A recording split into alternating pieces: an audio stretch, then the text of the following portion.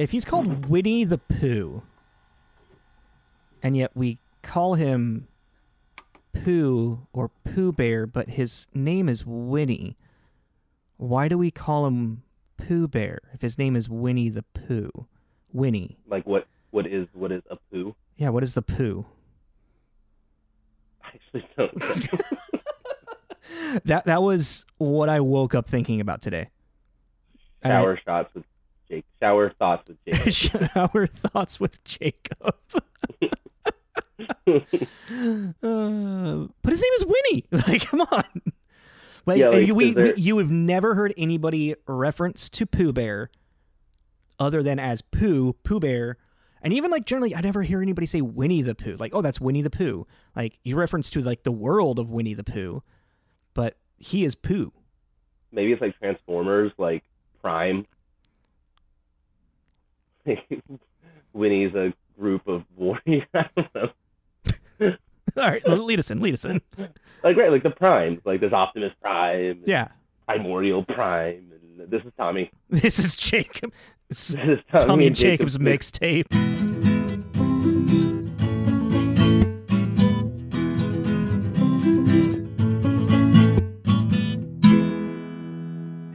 Hey, everybody! How's everybody doing? Uh, welcome back from a, a week off from us. Well, not a week. Well, Yeah. we had a week off in a uh, in a weird. Uh, well, hi everybody. Hello, everyone. uh, I've so been stuck at home playing Loop Hero. Yeah. So yeah, as you can, as as you, I'm pretty sure you can tell from the recording, we are now doing uh, another remote recording. Actually, it was almost about a year ago now when we had remote recordings because it was to Five Bloods and I think a banter episode in February that we did uh, remote recordings. Oh yeah, I was trying to remember which one was the remote recording. That one. The Yeah. Five Bloods. Okay, I remember that now. But yeah. So uh, apologize um, if the audio quality is, uh, you know, not not the best, but you know we're here for you because we want to keep uh, giving you content. And I hope you guys enjoyed last week's episode of Willow, um, the bathroom That episode. yeah. That, that, that was rough. I like I, I like agree. though that you came up with the name of uh, TJ's Lost Tapes. The Lost Tapes. The Lost yeah. Tapes a, made me think of uh, Mario, and I remember like the Lost Levels, which was like on the Super Nintendo, but it was originally Yeah. Mario Two in in Japan. But yeah, excuse me. Um. Well, uh, let's get into this week, unless you know you got anything else you want to say. No, um, we are this week. We're going to be uh, we reviewed uh, Legend, uh, Yes. 1985 to 86, depending on what country you are from. Yeah, that was a really interesting thing to kind of figure out. Also, th- this kind of the history of uh, how the, or like how this movie slowly got made was interesting. Um, yeah, because also it started being filmed in '83 and then was Mhm. released in the UK in '85, December 13th, '85, and then the US April 18th, '86. Well, yeah, I had its first re- its first premiere was in France in August 28th. Oh, I didn't find that interesting. Yeah, that was that was what I Wow. s- on IMDb. That was like uh, its premiere was August 28th in France. Which So this was a real slow roll of a movie, basically. yeah, yeah. Well, um, I mean, it made sense with what it was. But um, did you? I, I was on, only able to find like um like its domestic box office number. Um, I couldn't really find anything worldwide. Yeah, I what, are you talking Which- about the 25 to 23 million thing? Yeah, exactly. Because like it was number fifty six domestically, yeah, when it was released um, in eighty six. But I mean, I I like I don't know why. I mean, I don't know if you found anything of like its overseas sales in that like pretty much year or six or eight months that it was almost a year that it was you know overseas. Yeah, no, I didn't really find anything Well, except for it being like well, because it being 56 worldwide, and it says it just says worldwide it made 15 million 86. Hmm. But then, even then, like if you jump to domestically, it's still 15 million. So there is no real like track record of exactly what it made. There's no difference between the two numbers. interesting. So I don't know exactly why it wasn't recorded exactly. It's probably recorded somewhere, but it's just harder to find. You know, online. Yeah, yeah, I Yeah. mean, I'm sure there's a paper trail somewhere for it, but yeah, I just thought that was kind of interesting. Yeah. Oh, but uh, so Legend, um, like its rating from like IMDb and uh, throughout, uh, so it's got a six point four IMDb rating. Um, had a 40% tomato meter, a 73% audience score on Rotten Tomatoes, and then a 30 uh, meta meta score. So it's kind of mixed around. I feel like you know, like audiences have enjoyed it, but like critically, not as much. I mean, it's it's it's definitely the um, uh, definition of a cult classic. I would say that. Yeah, that's a good way to put it. Um, because even on Metacritic, if you look at it for the critics, there's one positive, five mixed, and five negative. Mm, so okay. Um, before we get any further, do you want to give us your uh, uh, Tommy synopsis? Satan attempts to kill unicorns that bring morning light. Yeah. Okay. I like it, uh, it's uh, like it's definitely like the embodiment of Satan, even though he's not called Satan at all throughout the entire. Well, actually, if you think about it, maybe Father that he's talking to is actually Satan. Yeah, I was trying to figure that one out. That was um, Father, yeah. Mother, the darkness. I mean, at, at the end of at the end of the day, he's what saves this movie. Oh yeah, one hundred percent. Like uh, like uh, nothing like a good bad guy. Yeah. Um, uh, well, let's move so, into uh, uh, directors Director. and stuff and whatnot. Yeah. Yeah, uh, this is a weird director for this movie. I will have to say that. It's also strange to think that this was actually all of his idea in a big way. Like he started this. It was his baby that he's he hired people around to find for it. Uh, this is directed, created essentially by Ridley Scott. Um, which is I was like, let's not bury the lead. Let's tell them who it is. It's very bizarre that this is a Ridley Scott movie. yeah, because I, mean, I mean, if you know Ridley Scott, I mean, most famous for really Alien, like creating the Alien franchise, um, and then uh, Blade Runner as well. Um, and I feel like Gladiator is probably his next biggest hit ish. Yeah, I was gonna say like I mean that's why it's weird is like a lot of like drama because then you had Gladiator, you had GI Jane, Black mm-hmm. Hawk Down, yeah. American Gangster, like Kingdom of Heaven. He's a very like epic kind of guy. Yeah. And a lot of the time, it's very grounded in reality. And this was not. no, not at all. Well, and that, what's interesting about that though is like what I found when I was researching it is that this all started because he just he wanted to make a fairy tale. He wanted to write and create he wanted to like direct a fairy tale essentially. He wanted to create an original fairy tale. So yeah. he ended up finding the writer um, william Hjortsberg um, who is like a sci-fi uh, novelist. Um, that uh, there was only two other movies. Like he'd done some screenplays and one of them was angel heart and thunder and lightning but those were also based off of his books um, so Ridley Scott found this guy, and they worked for a couple years on hashing out this entire like fairy tale, which is why it also, I feel like in story sense wise, this fairy it's a very generic idea of a fairy tale. It's light versus dark, you know. Yeah. like the hero must then go and defeat darkness. La da da da da. like the, the bad guy's literally trying to make it nighttime all yeah. the time. Yeah, exactly that's his grand scheme. It's like it's pretty like uh stereotypical like black and white, good versus evil. Yeah, exactly. Um, but uh, did you get anything else with William Hjortsberg?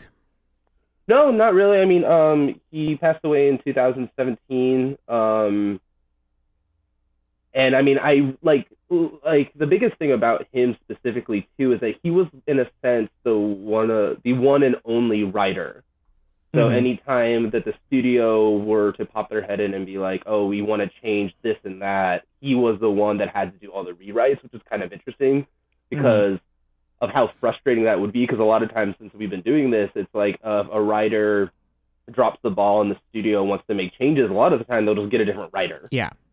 And be like, "Thank you for your time. Here's your check. Next in line is so and so." But the fact that they actually kept him the entire time, and basically, what's interesting about this is that there are in a very uh, Blade Runner kind of style, there are like four different versions of this movie. Yeah, I mean, th- th- there um, was a lot more d- characters uh, originally, or like the characters that are in it, that had a lot more story to them, but it was just very detracting from the main plot, essentially.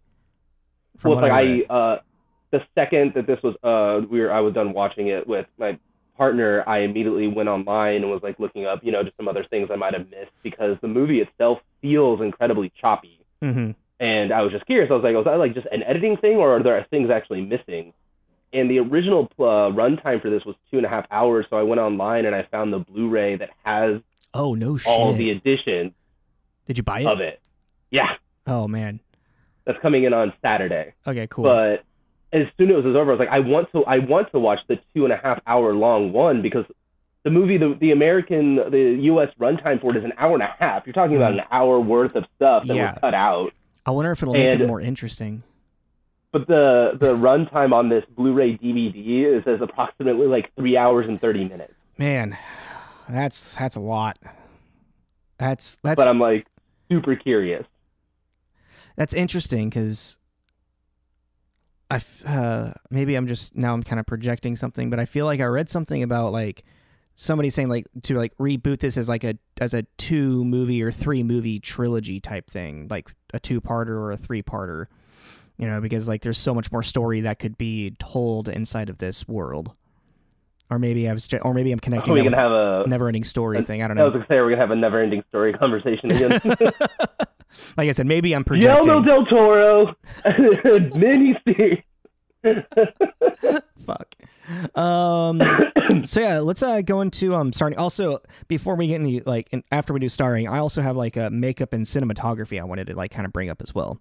Oh, cool. Yeah. on. Um. So yeah, let's go into uh, who this movie stars. It's got uh, two really big stars and a bunch of well, I guess yeah. Anyway, um, definitely starring Tom Cruise. If you don't know who Tom That- Cruise is, have we done a movie with Tom shit- Cruise? That shit crazy. Um, I don't think we have. um, I'm looking real quick. It's like the he? No, he doesn't have a part in that. No. He's our first. Is this our first Tom Cruise movie? We've been wor- working around him apparently. When we talk about Tropic Thunder every once in a while, but a lot. Yeah, I was gonna say Tropic Thunder. He's definitely come up before. Um, I don't think we have. Um, No, I'm not seeing anything that maybe. I mean, I'm trying to think if he have like a bit role in something. Tropic Thunder. Um, but We never reviewed that. I know, I know, I know. Um, but if you really don't know who Tom Cruise is, probably most famously known for um, being a Scientologist and batshit crazy. Um, uh, but uh, movies, uh, Mission Impossible franchise, um, Top Gun. Well, around this time, really like Top Gun, Risky Business, Cocktail, The Outsiders, um, and like he- just like blew up in Hollywood. Like Jerry Maguire, he's kind of in a lot of he's in a lot of different shit. Well, what's crazy about Tom Cruise too is I didn't realize this. He's only credited for 50 titles. Really? Yeah, like on his list of acting, he has 50. And I was like, wow, for how famous he is. Like, I mean, I think everyone, eh, no matter, I don't know. I feel like Huh. everyone has a favorite Tom Cruise movie also because he's been all over the place. Well, what's interesting now that I think about it, going from like the early 90s forward, he really didn't he did like maybe a movie a year or something. Like he didn't really do like he, like some people, you know, are in like multiple movies a year. Like yeah. in a weird way, I almost feel like after like maybe like Days of Thunder, like you could probably like I don't know. I feel like I could almost like name his entire like filmography moving forward from there in a strange way. You know what I mean? From Days of Thunder. When did that come out? That was like 1993 or something. Oh, here it is, 1990 on the dot. Oh, that was 90. Oh wow, maybe not then. Um, because that's when he met Nicole Kidman. But like, Oh, we also talk about Vanilla Sky a lot. That's true. yeah. Well, uh, it- that's Tom Cruise. Let's get off Tom Cruise because apparently we can talk about Tom Cruise for a long time. I just, but I like to ask this, especially for the really big actor like types. What is your favorite? uh, Tom Cruise movie? Yeah, Ooh. Uh, off the top of your head, without like Vanilla looking at Sky. Vanilla Sky. Yeah, I yeah. I mean, I I I because I just I like the the twisted nature of that film, and I don't really think Movie. Tom Cruise is one of the best actors in the world. I just think he. I mean, he's good at what he does. Um, have you seen The Edge of Tomorrow? The time travel one that he does, Or it's like a time loop one. No, I think you would really like that. I just thought of when you said that. I just thought of Sky Captain. Oh, Remember that movie? Yeah. Um, but no, I really think you would like you would really like The Edge of Tomorrow. It has Emily Blunt like- in it, but yeah, there's there's actually it, the sequel's been in developmental hell, but like eventually, like it's getting a big pop on Netflix or something right now, so it might actually happen. Um, but yeah, it's it pretty much the entire movie's about like it's like a Groundhog Day action movie, but Oh, he- he's aware of the Groundhog moment in a weird way. Well, you know, of course he is, but yeah, um, I think you'd like it. I think mine's a uh, tear between probably Minority Report or Collateral. I haven't seen either of those actually. You never seen Minority Report? Mm-mm. Oh, you would dig that shit. That's like Is that the one when he has gray hair? no Collateral's where he has gray hair. He Okay. plays a hitman. And that's with Jamie Foxx, right? yeah, yeah. Okay. And then Minority Report, he's like a a future detective. Like he Is it kind of like a Stop crime. noir? kind of kind of like a sci-fi future. All right. Basically, yeah, he's par- he's part of this like group that can like have the ability to see into the future and stop crimes. Lo and behold, he's at work one day and he sees himself commit a murder. So he has to figure out who this person is that he's killing and why, because he doesn't know who they are. Yeah, it was, Huh, okay. it, it was a kind of a mind fuck. Kind of cool. All right. All right, moving on. Yeah, that's, that's enough Tom Cruise. Sorry. Um, do you want to go with um, the love interest first or the villain? Let's go with Mia. Go Mia Mia Sara. Sara. Um, probably you'd recognize her most from Ferris Bueller's Day Off. She plays uh Sloane. Sloane. Thank you. I'm like I was gonna call her Simone. I was like that's not right. Nope, Sloane. Um, and it- it- she's in that weird Birds of Prey series that I found that trailer of from like early 2000s. Yeah, she plays Harley Quinn, which actually Yeah. is kind of a good fit. Yeah, it Like, is, I was like, right? oh, okay. I Yeah, I, I can see that. I really, I need, I really want to find that series for free somewhere and watch it because it looks so awful. And I, oh my god, it it reminds me of that really bad Mortal Kombat series that I found that nobody knows existed. What if it's like good bad like Cobra Kai? Sorry, uh, like Cobra Kai. Yeah, like Cobra Kai is hot garbage, but it's really entertaining. like I love that. show. yeah, Cobra Kai is very much, but Cobra Kai it strangely has like a good like uh uh like production value to it. It's just it's all just like it's all just spoon fed type shit though. Speaking Yeah, I of, have mean, you started season four yet? Yeah, Okay, I'm only on like the episode episode three, so I love it. Um, I I think it works because it knows what it is. Yeah, it's very aware of what it is. But Yeah, like, but that's also kind of of that's what saves it though is that it knows what it is and it leans into it and it does a good job with it. And I love watching old white guys like beat each other up with karate. he Oh. fucking kills me. God. Uh, okay, okay. Um, oh, so yeah, that, that Mia Sara, she plays Lily, the love interest in this. Um, the Um, the princess that fucks everything up. yeah. Um, and then at the end of days. so uh, and then we have our villain who is Darkness, played by Tim Curry, who is extremely unrecognizable in this role. And I think it's one of those things at one point in your life, if you know, if you're a really big fan of Tim Curry and you realize this, he played this character, you're like, no fucking way. Until you actually kind of like put it together and just like the performance of it. But it's because it was one of the most strenuous, like with like this movie and like The Grinch. Like it's one of those where like the makeup and prosthetics that needed to go on him were such a long process. He's not recognizable. Well, it's like yeah, it's like he's completely unrecognizable until he speaks, and then you're like, oh. And it's one of those. I feel like even if you didn't know it's him, you'd be like, I really recognize that guy's voice. And like, yeah, you would. Mhm. He's got one of the most iconic voices in like Hollywood. Well, speaking well, speaking of that, because like he's like one of the reasons he got uh, that Ridley Scott wanted Tim Curry was because of his performance in Rocky Horror. Um, because he loved he loves he loved that Tim Curry had a very theatrical um, way of performing and speaking. So like his articulation with everything. Oh, darkness, father. Just like um but like I think before this like and then he also did Clue. Um um he is the original Pennywise. Um he's in Muppets Treasure Island and he has Oh yeah, he's Long John Silver. He was really I'm good. surprised you didn't fuck wow. I forgot okay. about that. Ah, it's the things that you forget about, Tommy. Um um I haven't. What's what's fucked, what's fucked up too is I have it written down in front of me. Um, I would say I also I, I always I'm always surprised by how large of a voice career he has, just voice acting in general. Like he's in like so much '90s like animated stuff.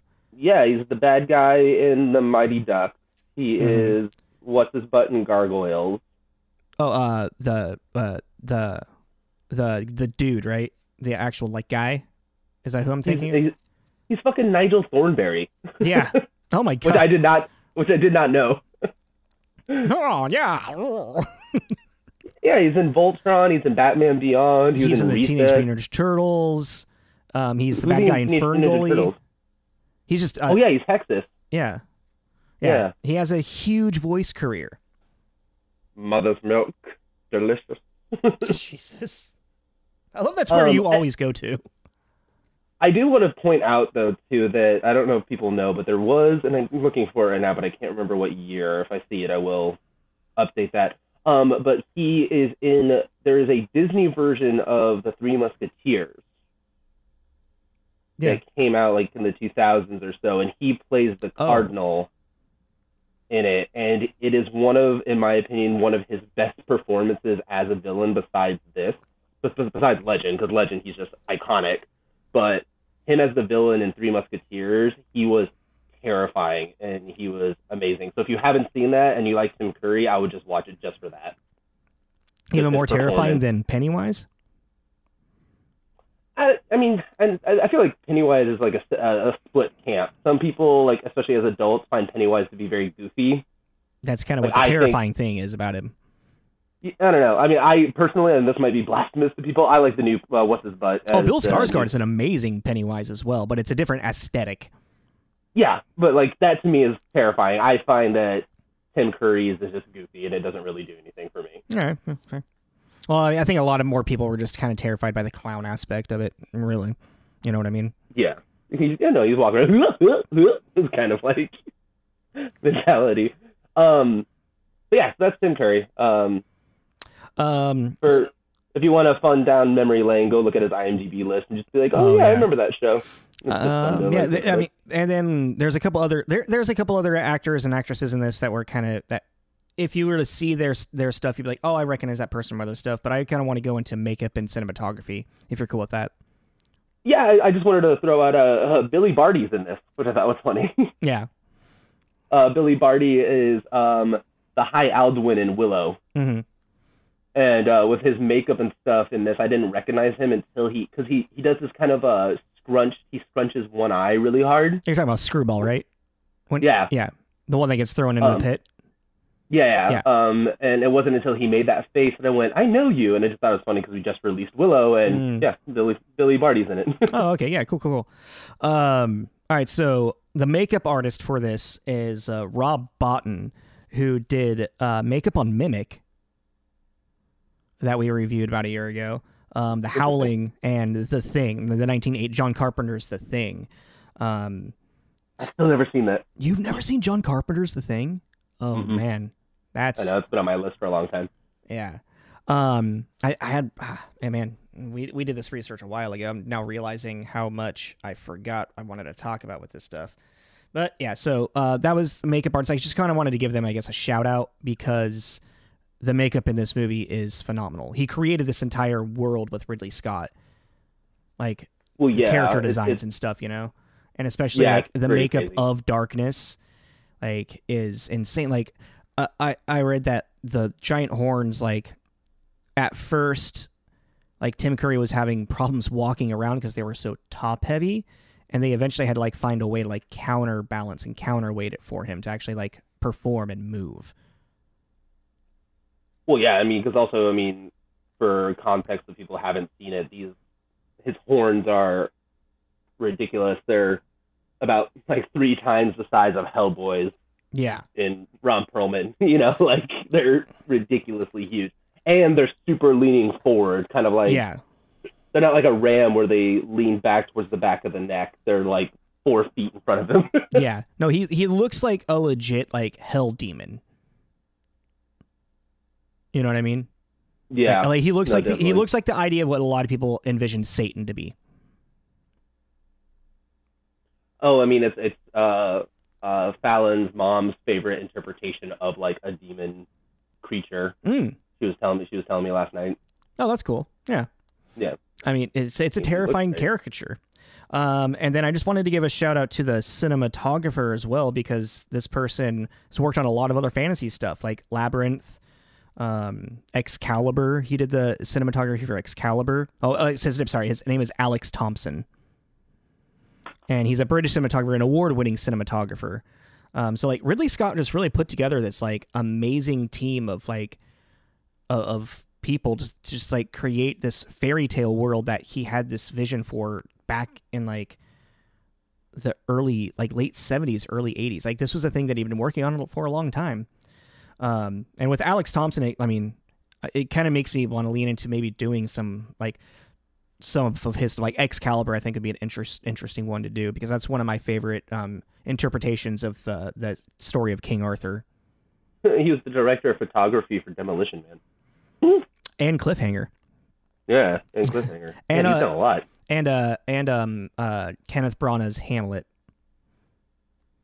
Oh, cool, cool. Like he's done. He actually did a lot of the Kenneth Branagh uh, Shakespeare stuff. he did Scarlet Letter in '95. Yeah, Mhm. this guy's been all over the place. Yeah, this guy's done a lot of great stuff.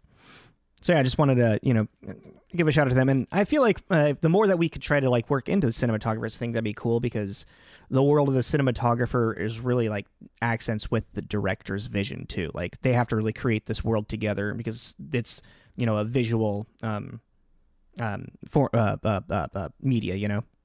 Yeah, totally. Um, do you have anything anything other to add before we move into reviews and stuff? No, not really. I don't think. Let me look at my notes real quick.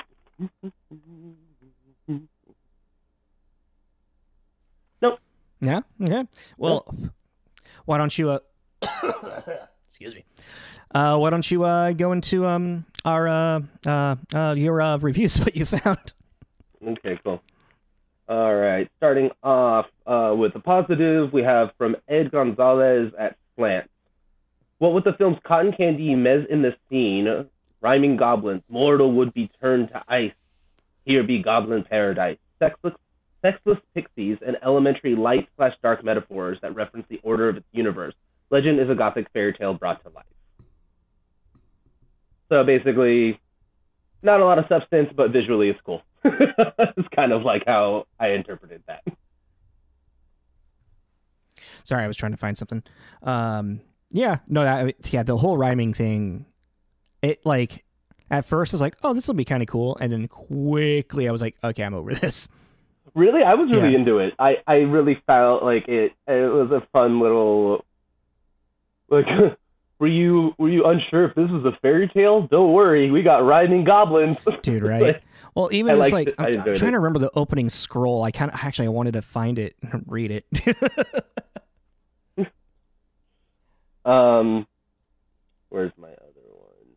Here it is. Uh, Variety uh, staff not credited. Um, Legend is a fairy tale produced on a grand scale, set in some timeless world and peopled with fairies, elves, and goblins, plus a spectacularly satisfying Satan. At the same time, the basic premise is alarmingly thin, a uh, compendium of any number of ancient fairy tales.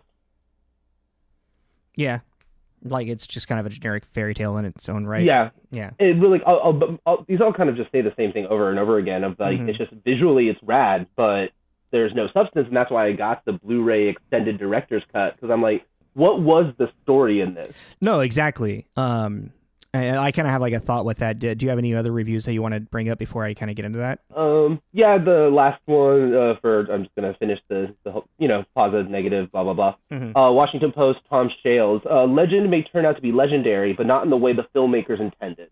As a flight of fancy it has a balletic uh, grace of the gooney bird, crashing on takeoff and spending the next 90 minutes in a fluttering tizzy on the ground. jeez a gooney bird. I picked it for that phrase. That phrase alone. Yeah. So I mean, the, uh, as I was finished this movie, and like I was gonna kind of get back into my uh, review, writing my reviews with this one, but with the last couple of weeks kind of being where like we it just kind of like uh, left me. Um, it I was starting to like this movie is really it's just yeah like they were saying like a basic fairy tale story. It's a a story of morality of you know not even morality but just like light versus dark good versus evil. Um and i was really trying to think of like what is really the message inside of this like good versus evil. And like really it just comes down to like accountability or like you know like like when lily touches the unicorn she ruins everything and she has to be held accountable for that and that's where the story just kind of like goes into then now Jack has to save the damsel in distress who made like it's, it's almost it could also you could also go into biblical stuff and this is like Adam and Eve idea you know? Oh, and the she's the one that fruit. yeah she she bit the forbidden fruit you know? Well, I was cracking up too because at a certain point, you know, uh, Jack, Tom Cruise's character, gets all pissed off that she wouldn't touch this sacred animal, and then she says, "I just wanted to touch it," and it's like, yeah, that's the problem. yeah exactly I just wanted to touch exactly the that's the issue. you weren't supposed to touch it you're it. not supposed to touch it don't touch it no touchy no touchy no touchy I don't know what that's from But that's, what but that's that's like, but that like becomes like the problem too. That's becomes what when it became so choppy. There was just a lot of things that felt like plot points that were just kind of missed, and we just kind of rushed over like quick, like we got to get to the next scene. And yeah it's, like, it's it's yeah it's like kind of rushing through bullet points mhm. you know um which is also like it, it turns into just a story of like love can love triumphs over evil you know love triumphs over everything but there is the message at the end with darkness laughing over everybody in happiness imprinting this idea that oh but darkness still is there and darkness is still in everything there might be light and happiness but darkness would always be there yeah, it's just a lot of ideologies kind of thrown in a blender with Yeah. a fairy tale aesthetic. Exactly. Um, I did find the opening scroll of, Okay. of it, and it literally, literally, just reading that, like, you don't even need to really watch the movie. If you just read this, you know the story. Everything else is just kind of like, oh, and now let's watch it happen. So it's like, literally reads, once long ago, before there was such a thing as time, the world was shrouded in darkness. Then came the splendor of light, bringing life and love into the universe. And the Lord of Darkness retreated deep into the shadows of the earth, plotting his return to power by banishing light forever.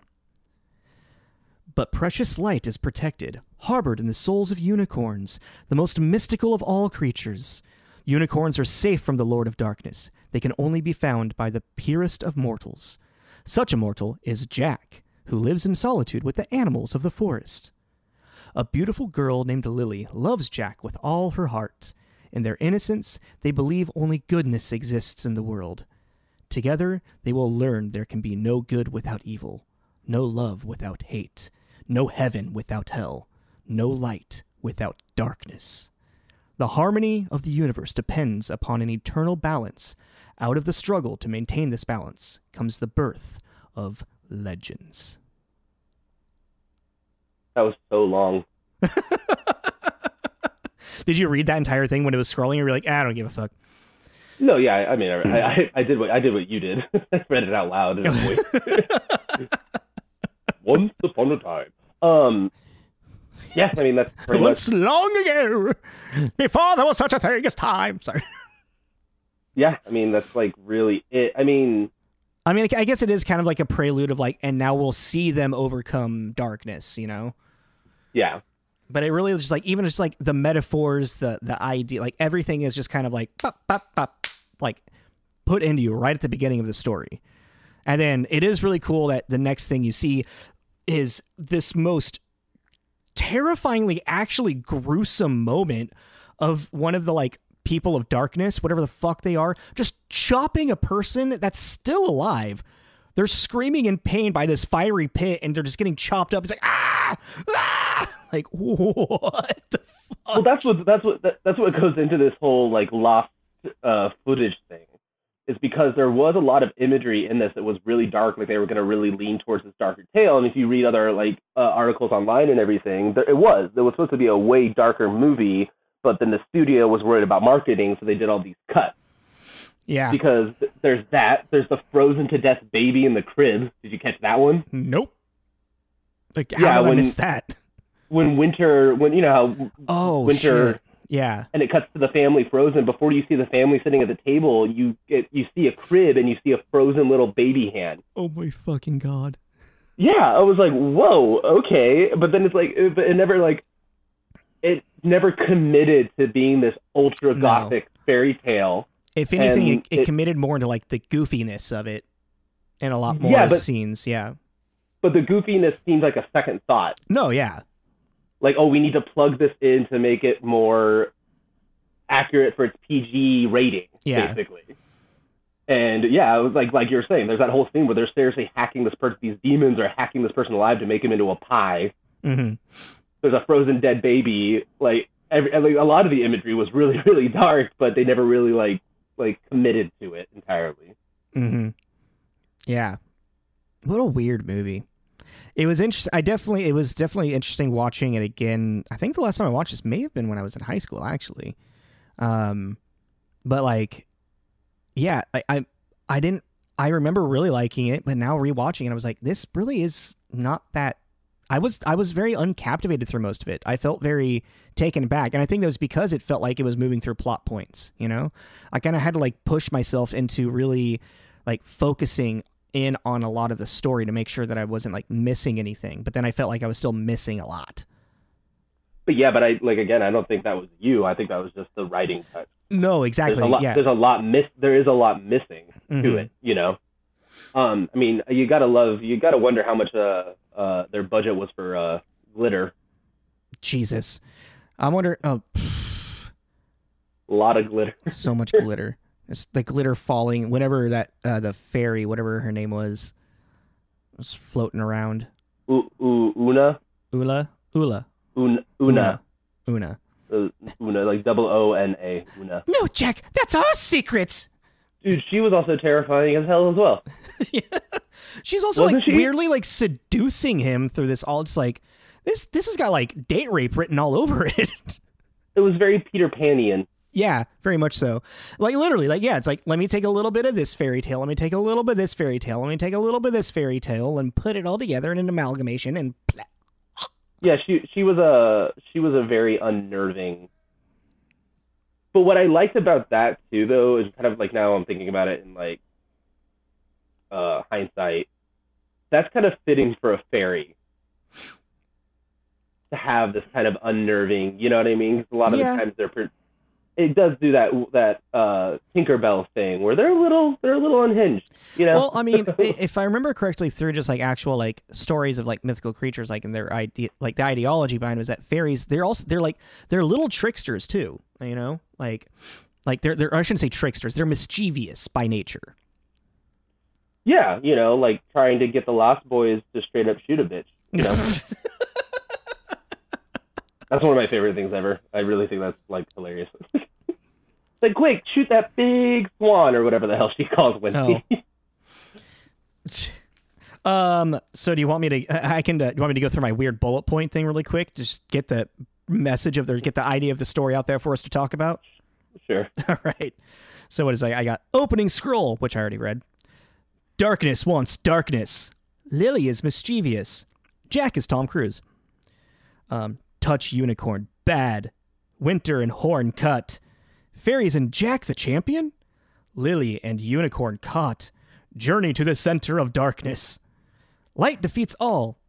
Jack believes in Lily. Darkness into the void. Happy ending? Question mark? That's pretty much it. All right, thanks for joining us, everyone. Um, I mean, there's obviously like you know like little bits of just like things that ha- like there's this there is like that weird side story with Oona and Jack. Um, I don't know what the fuck's up with that satyr who is fuck just bipolar through this entire movie. You know what I mean? Where it's like oh, uh, she uh, touched Grump? the unicorn. Oh, but you love her. How happy now? Like, what what what side are you on right now, bro? well, and also just that. Well, I don't know, like that whole dubbing over voice thing. Oh, was their voice dubbed over? Yeah, the the to get that like effect on it, Oh, weird. Okay. and it look it just looks off. It looks really bizarre, and, well, and to be honest, and I think this is kind of like a thing I've kind of noticed, especially in like '80s fantasy. Um, the sound is always a weird issue. It's like the whenever like the the entire movie's on this like one keel, like volume wise, and then suddenly a yelling part will happen or like a song like a a swell of, of music to really like get the emotion that you're trying to go for. You know, terror. You know, we we Mhm. need the audience to feel scared, so let's put this song in right now. The volumes get so ridiculous. Mm. Like Tom Cruise yelling Lily was hysterical. You know, like it, And it was also like slowed down just enough. yeah, like, just and it's just, Like you're like it's like you're really forcing this idea of like over dramatized like performance. yeah, It's really already just- over the top, and now you're making it feel more over the top. now it's just becoming really goofy. Yeah. Like him yelling Lily, I just really like I, I, I appreciated and hated all at the same time. Well, that's an interesting thing to think about because you're specifically talk, calling that out with the 80s, and I'm pretty sure the 90s kind of had some of that as well. Um, maybe even the 70s, because I think what you're looking at and what you're pointing out is possibly just like uh, an older film technique that at the time was like captivating for an audience, but now that we've like as a as a society and culture of media, we've we don't need that spoon fed anymore and now it's not captivating now it just looks looks ridiculous no, it's distracting. Yeah now it's now it's it's take it's taking away from the moment you know what i mean because there's a lot of things like a lot of like earlier movies instead of like they would they would kind of like tell what they like you're supposed to be like showing the story more you know like let the audience interpret it as opposed to like tell them what they need to see or what they need to feel you know what i mean Mhm. So like I think that's an interesting thing to kind of think about and like maybe we should kind of like let's let, let's keep that in our banks as we watch more like earlier cinema or like you know later cinema versus earlier cinema and whatnot. Yeah, no, and I just I think the reason it's really standing out too is because it was the same thing with. I mean, granted, I didn't rewatch Willow, but listening to the episode, I was you know getting like flooded with memories of it and everything. Yeah. Um, but it's like with Neverending Story, Willow, and this, they all three of those did it. Maybe it just seems a lot like fantasy because it's like three in a row, basically. Mhm. I mean, that. it's probably much more of like a fantasy element because it with that whole like you're already in a world of um of fan of fantastical things you know you're already like eh, have this like different like level of disbelief you know um Mhm. what what I'm trying to think of the term uh like I, I uh, but anywho um and so with that level of disbelief already there like you can like be a little bit more exaggerative in like your like showing of the performance and whatnot so like but in the 80s it was more like that was like how they like that was just part of the aesthetic you know what i mean Yeah. because if you Yeah, think about yeah. fantasy now well i mean fantasy now I like what like i would say like lord of the rings really kind of like re revitalized re like changed uh changed I think, yeah, I, I see where you're going with that. I mean, Lord of the Rings definitely brought fantasy into a into how to how to word this into a realm to be taken seriously as a motion picture art form Yeah, yeah, yeah, yeah. And I'm trying to think there or stuff music before and that. costumes and hmm like just the budget alone of what you could create. It's you like know, I it, it made it seem like it was real. Yeah, because then now you have on the other, like, I mean, I would honestly say, like, the next thing to really kind of change a lot of stuff would be, like, Game of Thrones. Yeah, was, oh, redefine, I guess is the right word. Yeah. It's like, yeah. Like, Lord of the Rings and, like, Game of Thrones redefined a lot of, like, like, even now, if you're, like, if you watch, like, uh, something like, you have the Game of Thrones, and let's say you watch something that uh, has less, like, popularity, like Witcher, for for example. Now, because Game of Thrones pushed this envelope of uh, how fucked up we can make fantasy, a lot of more adult fantasy stuff is following suit. Yeah. Well, and I guess that's another big thing to really think about that as well is just how much like fantasy through the 80s and even 90s it was that was it was that there were children's stories. It was more about you know it was all like for children where then lord of the rings turned it and like which tolkien definitely not children's books you know? Um like it they're like it's fantasy for adults and then like fantasy for adults really kind of like took off. Even though like, i guess like willow kind of lives in between this world of like for adult and children in the 80s neverending story was definitely children. Um Willow's pretty dark. yeah. But would Willow you has a lot of cool. but but also would you be like when that came out do you think uh, parents were like oh i don't want my children my child to watch this maybe? I don't know. Now i'm kind of thinking like could- Dragonslayer and Ladyhawke. I don't know. Oh, I'm, I'm just thinking like I I could see it more in the sense of a parent taking their child to go see Willow, and then at certain points being like, this might have been a mistake. you know, that kind of like kind of like with what happened with gremlins When- yeah, yeah, yeah, like that kind of thing of like, oh, I I thought this was going to be way more child friendly than it ended up being. hmm Like, and it just like seems like you know with the the rat dog uh, killing the oh yeah god damn you know, stuff like that. You know, like where the parent might be sitting there kind of like, uh, whoopsies. didn't mean for that speeds my okay my child is now Yeah. scarred um yeah uh, we, we just went off on a weird tangent about just fantasy in general um do you have any do we have anything more did we want to go through legend and gen- like actual like kind of like a little bit more i don't know if there's really much more to talk about with it I mean, what I definitely am going to do is when I get my hands on this extended version, I'm gonna watch it and then do like a mini tape comparative, whatever. Because oh between the two yeah like also what is what was up with that good guy bad guy goblin? What was that? All right. Yeah, I guess let, let, us just really quick. Let's actually like let's talk about the character arc. So we actually like we're we're focusing more in on legend here and like the actual like story that was hard to find.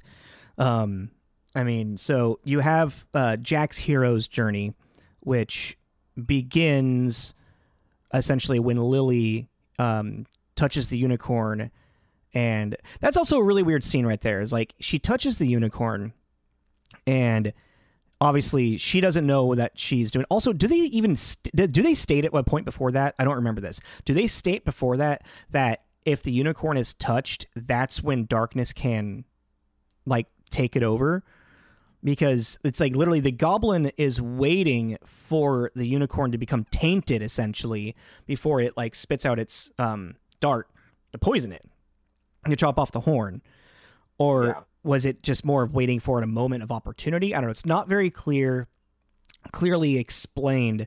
It just all of a sudden like, oh no, touching it. Not only was it just like, oh, you shouldn't touch the unicorn, but you just doomed us all because you touched a unicorn. You know what I mean? Yeah, it's like it doesn't really seem like her. It doesn't seem like her touching it caused the issue. Like, Yeah. It, Well- even though they kept wanting to blame her for it. Well, no, it's like it, it, it it's almost like when it's being introduced, like like as an audience member, be like, why why is it so dramatic for her to touch this unicorn? I don't I don't understand why that means anything until you find out through what's the little satyr's name?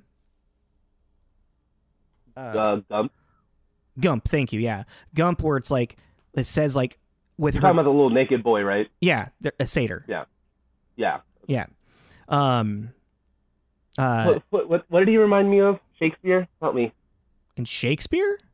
Yeah. He reminded me of. Oh, uh, uh, from Midnight Summer. Yeah. Um, Yeah. uh, Puck. Puck. Yeah. He reminded me of Puck a lot. It's interesting because Puck's a fairy.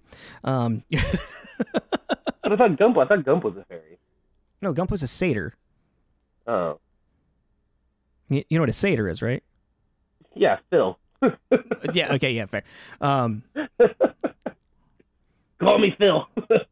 fucking Danny DeVito. Okay, so yeah, but like, so like her touching it, just like it, didn't- it didn't feel like it was like it felt like it was like had to be explained afterwards why it was such a bad thing, even though like everyone was freaking out over it. But let me go back to my original thought on the weird scene is that he's angry at Lily for touching the unicorn, and then all of a sudden she's like, the person who finds this ring will be the one who marries me, and she's like confessing his love to him pretty much, and then she throws the ring into the fucking river and Jack's just it's like Jack's like no longer angry at her. Now he has to like find this ring for her love. I'm like, "Where what wh- wh- huh?" But then also like in that same in that same in that same moment, in that same sweeping moment, he jumps off the rock to get the ring and then she starts screaming After like him. why like why would you do that? I'm Yeah. like why'd you throw the ring in the river? Why is anything happening right now? why why and winter is coming, by the way. So like, fucking, like everything's about to get frozen over as well, and yeah, that like, like so much happened in like a minute and a half of this of of of of this movie that just all just like conflicted together. Like, and then he's like frozen underneath the river of ice, and like, like, it's like, uh, like Lily! so fucking just everything just got so weird and then she's just like running through the fo- through the through the snow and whatnot and uh, leads them to the unicorn after oh that, that's right so jack and like uh, and gump gump finds jack and is all like what happened or what like Jack tells Gump what happens, and like Gump is just like super like bipolar, like hit like hisses at him, like you let her touch the unicorn, Jack. You know that's forbidden. He's like, yeah, but it was for love. For love? Oh, if it was for love, let's cheers. Like, is this a good thing or a bad thing? Like, if you're in you're in frozen winterland right now. Like, Well, yeah, it just goes into like again, it just goes into the it feels it feels like something was cut out. Like, yeah, because even then, it's like, is it? Do they think that touching the unicorn will cause all of this? And then they're pissed off about that, unbeknownst to them that the thing was then poisoned and then killed. I guess yeah. in theory, it's dead for a little while because it's Well, it's dying because it's had its horn cut off. Uh, the thing looks pretty dead, but I digress. But like, it's it's it's like it's just one of those kind of like you know like because again, no, the whole movie is a carrot.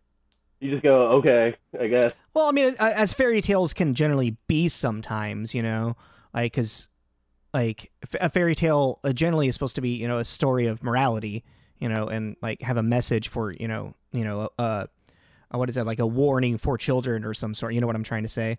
Like, Yeah. um, but I, I Well, guess, then it goes.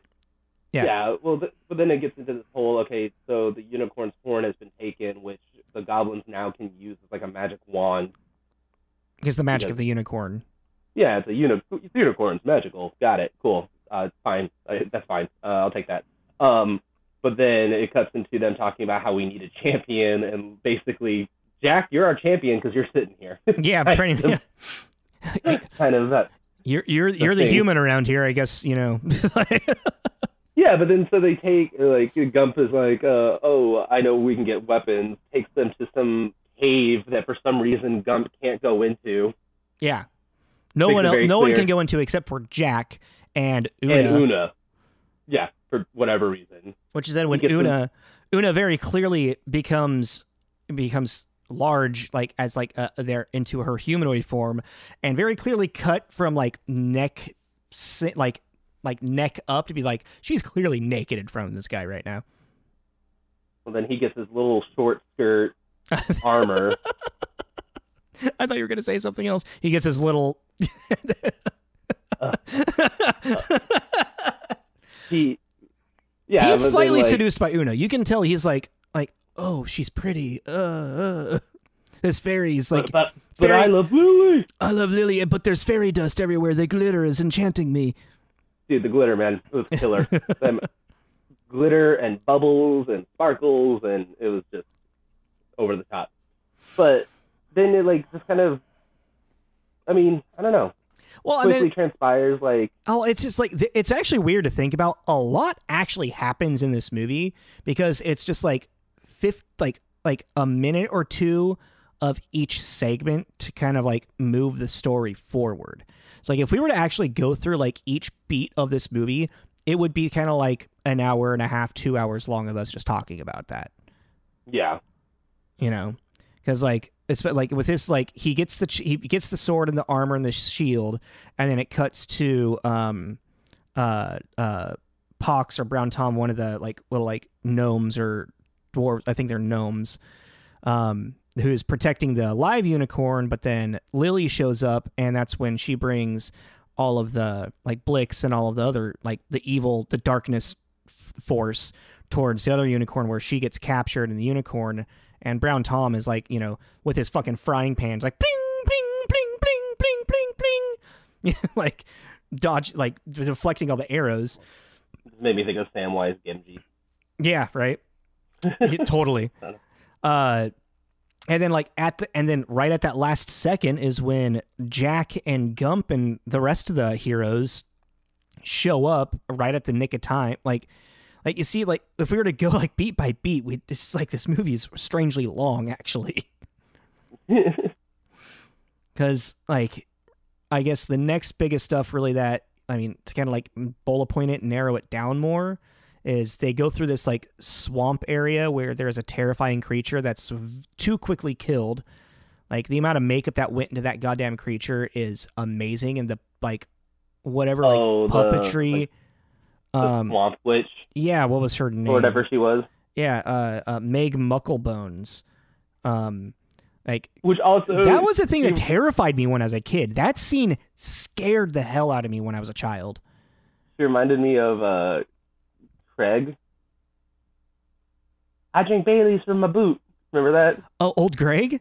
Yeah, that's what she reminded me of. Old Greg. Oh, Oh, Greg. I got the funk right here. I keep it in a box. You like Bailey's? I got Bailey's in my boot. This is the closest you get to Yeah, I think Bailey's without getting your eyes wet. I like to drink Bailey's from my boot. My name's Um. Sorry, okay. but right, didn't she remind you of him? I, yeah, and- now that you say that, yes, I can Like totally see that. They're cousins. Yeah, Old Greg is actually in the swamp next over, and the, yeah. and the other fairy, Totally. the, the the fairy tale across across the swamp. Okay, Uh, but yeah, so like see, we we get into the castle, and it's just kind of them. Pretty much, majority of the movie kind of takes place in this castle at this point. yeah, this is about the the second half of the movie, and it keeps kind of it like it keeps cutting in between like with Tim Curry uh, as darkness, just kind of like sitting like, "Uh, father, tell me what I must do. Why do I feel this feeling for this woman? What is this feeling? You know, like Yeah, and then dark and then father echoing through like the empty chair like he's like this is like some weird psycho shit right here like mother and father are just like embodiments of nothingness that he's like talking to like a well, yeah, like mother is night, and then like father is fire. yeah Because it seems like it kind of, to me at least, was kind of like resonating for, from the fireplace. hmm It had that really cool effect of the the the the, the fog going in to the fire. I did that? not Like, i did not pick that up no you're you're you're really onto something that i didn't pick up Yeah, like it. He's talking. It seems like he's talking to the fireplace. yeah i guess like i saw that it was the fireplace but i saw like the chair in the foreground so it was kind of like this i like like i guess i was kind of like definitely like it was coming from the fire but like the fact that there was the chair in the foreground gave this like idea of like there was somebody sitting in this chair talking to him that we just couldn't see, yeah yeah kind of thing. Yeah. Mhm.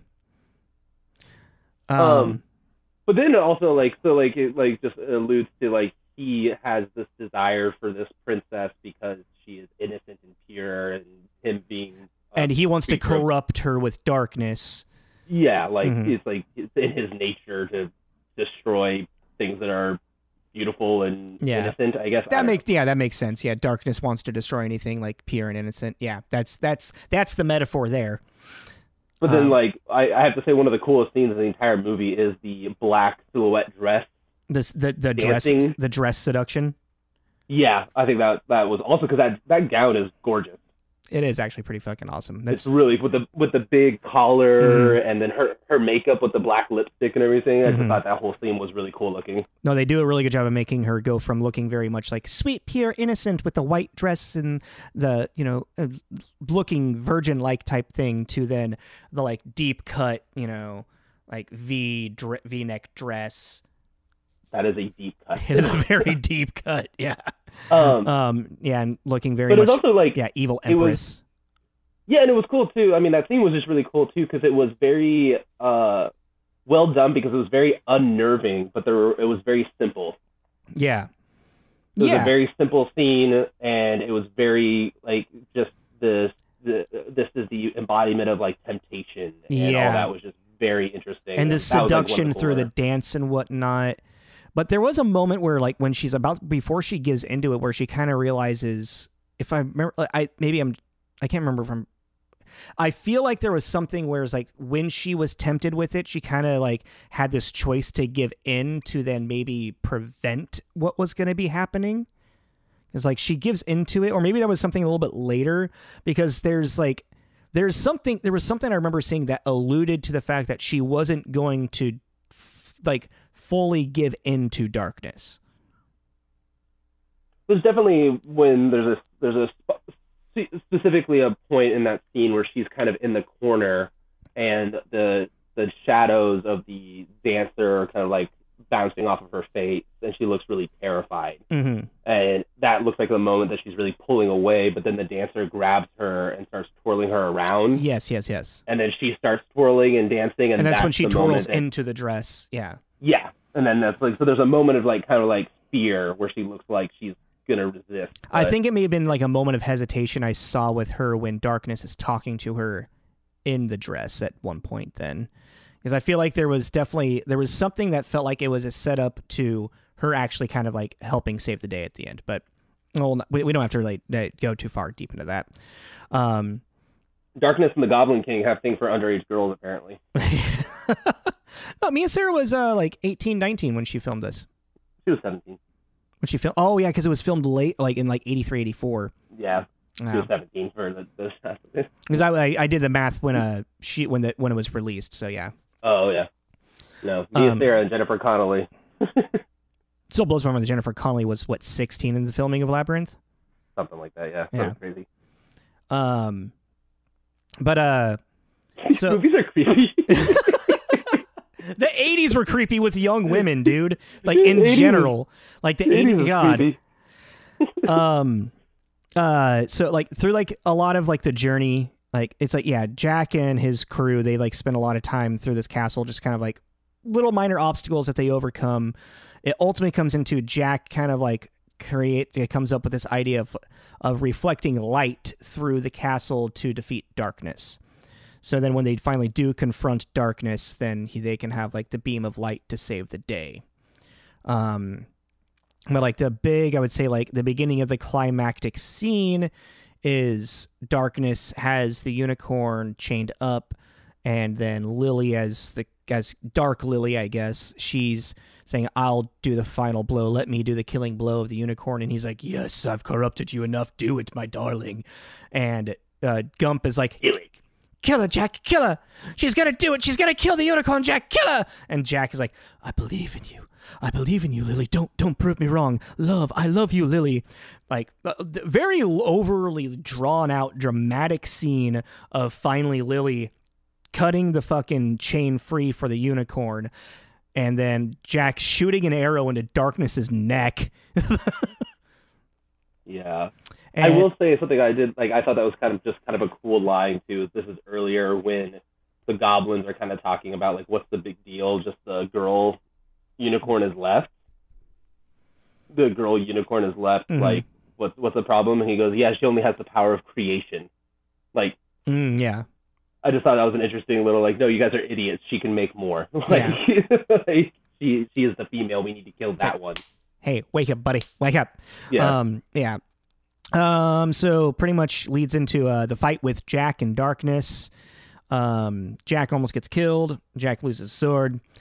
He attacks Darkness with a unicorn horn, stabs him, stabs Darkness in the gut. And then Darkness, very dramatic scene of darkness. Well, finally, they get all the lights, the plates positioned properly for then the light to reflect onto Darkness. And then Darkness is pretty much like getting blown away by light into this weird void of whatever the fuck that is.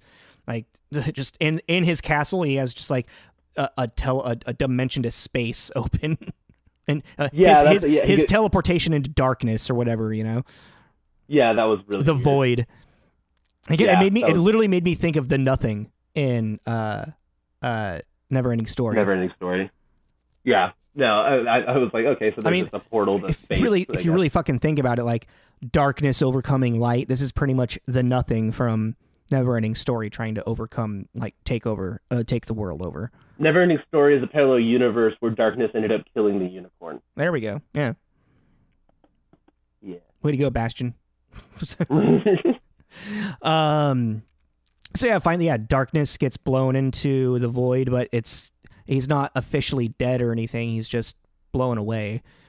Because at the very end everybody like is you know joy and they oh that's right they put the they put the horn back on the unicorn and it's alive and it's okay. There's happy music playing with bubbles and glitter. Jack and Lily live happily ever after, and then darkness' is image, like the face of darkness, comes up. this whole movie, it feels like on the soundstage they had a big fan and they were just throwing buckets of glitter into it. Probably. Coat everything with glitter, all of it. I mean, But you, yeah, yeah, I mean, that's pretty much. I mean, I don't know. I think it's just at this point we just need to get into the the rating. oh yeah, we're yeah. Let's wrap up. Oh man, I, it's definitely not a gremlin. I give it a wet mogwai mainly Yeah. because visually it's it's cool visually. Visually, it's really cool. It really, it kind of like with Neverending Story, it really kind of like has this cult following. Really inspired a lot of people. Um, and the art direction in general of this movie is just really, really, really on point. And I really think that there is going to be something to this like director's. Yeah, like I said, I'm gonna I'm gonna come back around in a couple like a week or so and do some kind of like mini tape or something on it because I am very curious what the original idea was. Because that's like a theme that we always talk about is that when a studio and what's weird about this too is when a studio gets involved and wants to make all these changes, Ridley Scott apparently was very not I don't want to say adamant, but he was very um, receptive to these criticisms, even to the point where after a test screening, he heard complaints from goers, took them into consideration into the cut, Oh, interesting. and even on the commentary that's on the DVD that I ordered, apparently he's still very proud of it.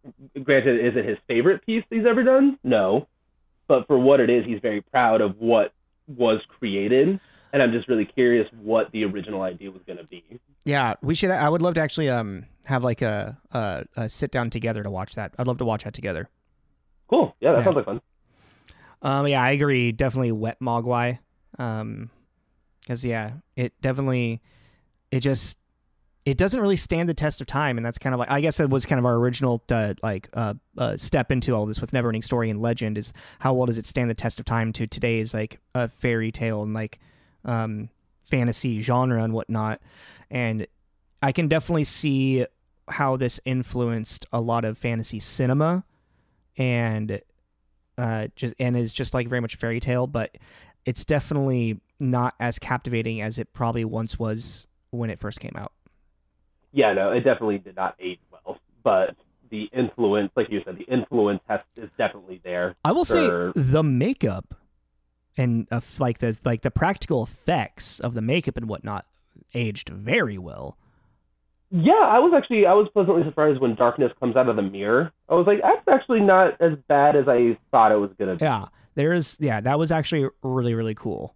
that was Yeah, and the prosthetics and everything were great. oh like, amazing I mean, even blix looks really fucking good I was reading that Blix uh, was uh, inspired by Keith Richards, which I think is really funny because if Oh my God. true, i hope that looks true like him. I It looks really like hope him. that is true that is so fucking good it looks a lot like Keith Richards. Jesus Christ, Um, that is oh my god, so good. Um, yeah, um, yeah. yeah, I mean, I would recommend this to somebody if uh, they did have uh, an interest in like makeup design and where it's come and everything, because just the creatures alone, like I mean, I guess more more than anything, the evil creatures are very interesting because Yeah. at the end of the day, like the the good guys do have makeup, but it's you know they're like prosthetic pointy ears and Yeah. beards and stuff. But the full body makeup that they did for the villains was really cool. the, the two like gnomes or whatever they are, uh, like Brown Tom and uh, Pox. They, there is some good prosthetics on their faces that aren't distracting or anything, and actually look very uh, very much in that world. I guess I'll put it like that. The makeup really like it defined this world in a good way, and it felt like it belonged in it, and it created it, and it like it helped uh, accent it. Yeah, that's yeah, that's fair. Um, yeah. Um, I think that's about all. Uh, all I have to say. Yeah, that's pretty much all I got. Cool. Uh, we don't know what we're doing next week. We don't. We got to figure that out. Oh, I do like the unicorns' uh, noises. By the way, were like blue whales or some shit. Oh, interesting. Oh, okay. The, yeah, uh, they're definitely a whale. I, I really didn't really exactly think about the they were. noises that the unicorns were making. I was just thinking that was ambient sound. So. Yeah, they're like an orca or some shit. Yeah, it's, they're de- it's definitely a whale. I just don't know. Can we be done Anyways, now? uh, uh, yeah, we don't know what we're doing next week. We will discuss that, figure it out, and then you will know when we do. Yeah, yeah. All right, guys. Uh, thanks for tuning in. Um, hopefully next week we're back in a recording studio, and Yeah, hopefully we'll have our lives back together. Um, if not, well, well, we'll figure it out. But uh, thanks, uh, yeah, thanks guys for listening. Uh, like, subscribe, share, do the stuff. Join Patreon if you want to. And yeah, Yeah. Well, this is Tommy. this is Jacob, and this, This is Tommy Tommy and Jacob's Jacob's mixtape.